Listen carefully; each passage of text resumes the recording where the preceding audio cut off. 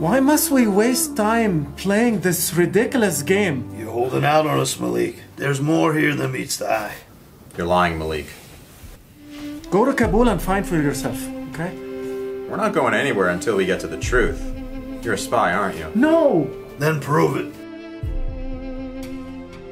You can begin by telling us the location and strength of the ISIS stronghold. I don't know it! So you're a low-level grunt.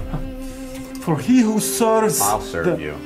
All right? Who's your superior officer? The one all knowing Allah. The location of the ISIS bases along the Afghan border. I don't know. In your province. Irrelevant. The number of soldiers under your command.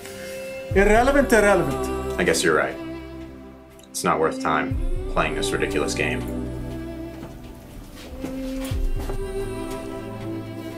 What a fool I've been coming looking for courage in a field of liars.